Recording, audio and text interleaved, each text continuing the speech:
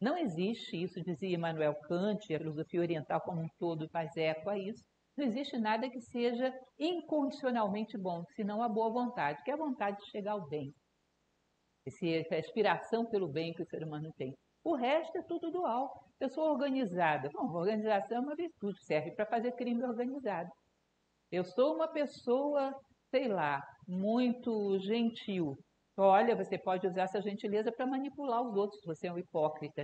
Está aí aplicando golpes e aplicando um monte de, de enganações dentro da sociedade. Os maiores malandros são muito gentis.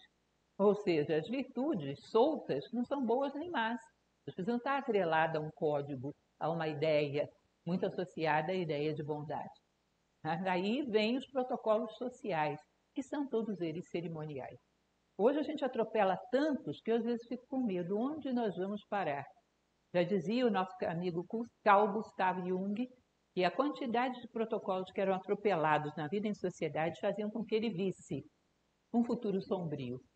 Ele olhava para o futuro e via uma grande tela cinza, uma pequena fiapo de luz, que era uma pequena esperança.